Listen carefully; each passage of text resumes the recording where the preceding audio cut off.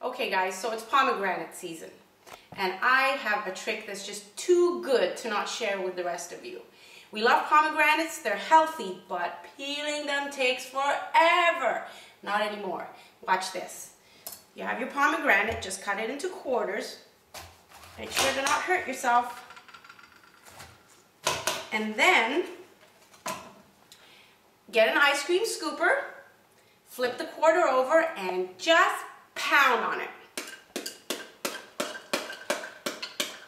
And watch those little seeds dislodge. Takes a couple minutes, not even. Might have to do a little cleaning and take a big piece out that fell. But one quarter down, three more to go. And voila! Never again will it take forever and be tedious to peel these pomegranates. So there you go. Enjoy!